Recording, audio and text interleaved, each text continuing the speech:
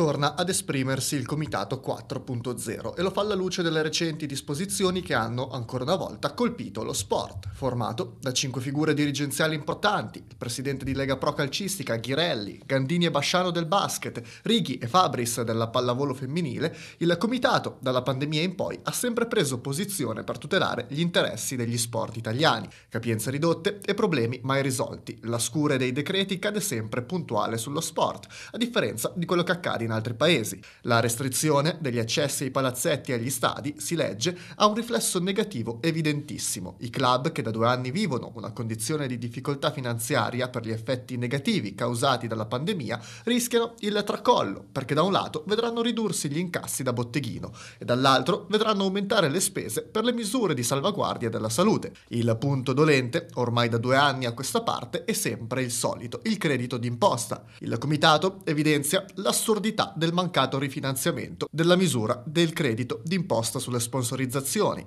Il governo avrebbe dovuto capire l'inderogabilità del rifinanziamento. Vi è da fare a questo punto una riflessione su questi due anni che abbiamo alle spalle. Agli stessi club non solo non sono stati riconosciuti i giusti ristori, ma gli stessi sono stati penalizzati rispetto ad analoghe attività produttive che durante la pandemia hanno chiuso le loro attività.